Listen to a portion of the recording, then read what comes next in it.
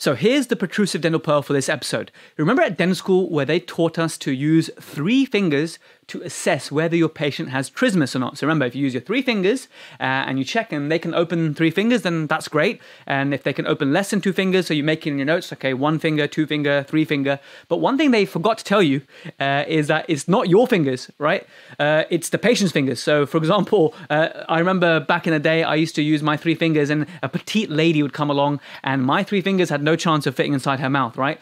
Uh, so unless you're a petite lady, then it's not going to work either. So remember, it's, it's the patient's three fingers, not your three fingers. But how can we make this more objective? How can we check the maximum opening more objectively? Well, the easy answer is use a ruler, right? Use a ruler, uh, and sometimes what I like to use is one of these. I'm hoping you can see this. There we are. It's from Great Lakes. Uh, it's called a range of motion scale. So this is a pretty cool thing to use. Um, I'll put a little video in the background as I'm speaking about how I use this. The other thing you can do, which is pretty clever, is you, how about you calibrate your three fingers?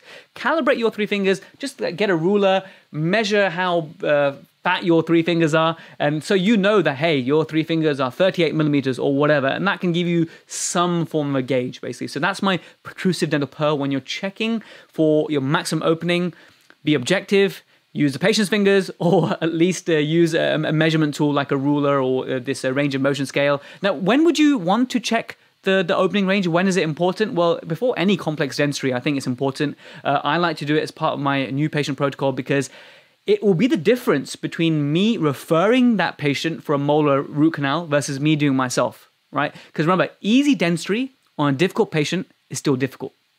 So mm. I've struggled the most when I'm doing posterior restorations and rubber dam on people with limited opening. So it's an important factor. You should be screening for it, I think. So it's a good thing to, to know. Uh, but also, if you're doing any splint work, then you'll find that actually when you make patient splints, their range of motion can actually improve. So typically, you can, it's, it's, you know, it's not uncommon to get four to five millimeters plus, depending on where they started, of increased uh, mouth opening. So it's, it's important to be able to objectively show that because sometimes patients might come back and they think, you know what, I don't think this is working because maybe they didn't have that many symptoms to begin with, right? And, and you're giving the appliance for more protective reasons rather than to help them with pain.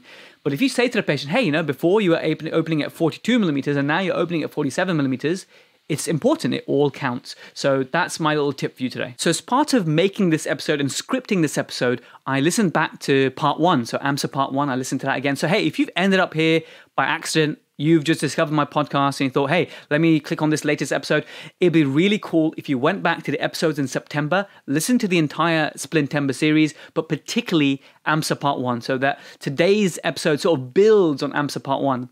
Hey, if you enjoyed this snippet from the Protrusive Dental Podcast, be sure to check out the full episode on www.protrusive.co.uk. It's also available on Apple Podcasts, Google Podcasts, Spotify, Amazon, you name it, it's everywhere. Also on YouTube, so check out the content if you like it, please share it with a friend. Thank you.